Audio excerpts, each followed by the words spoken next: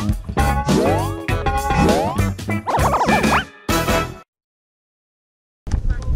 Siamo qui a Isola del Piano perché oggi, 30 gennaio 2016, le telecamere del TG3 eh, della RAI delle Marche sono appunto qui alla Fattoria della Legalità. Eh, dedicheranno una puntata del loro TG itinerante alla fattoria e alla mh, mm, questione delle criminalità organizzate. Eh, siamo qui anche noi di partecipativi perché il nostro video L'Isola Felice Mafie in terra marchigiana ha riscosso un um, discreto eh, successo, ha avuto un largo pubblico che ci ha seguito e ci sta seguendo e appunto anche la redazione regionale della RAI si è interessata al nostro lavoro e quindi ne parleremo.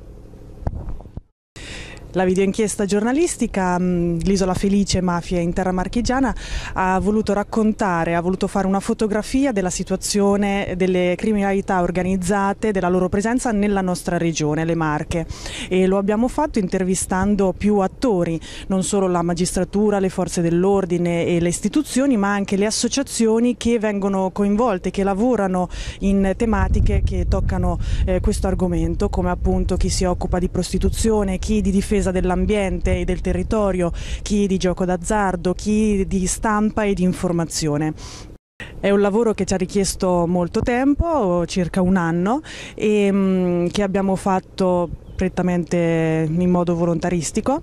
e che però ci ha permesso di conoscere a fondo il nostro territorio e emerge una fotografia ehm, abbastanza preoccupante, cioè la fotografia di un territorio che fa gola, che è interessante e che ehm, suscita l'interesse appunto delle mafie che fanno affari non solo con i soliti e ormai conosciuti traffici della prostituzione o delle sostanze stupefacenti ma anche con le infiltrazioni nel tessuto economico e commerciale della nostra regione.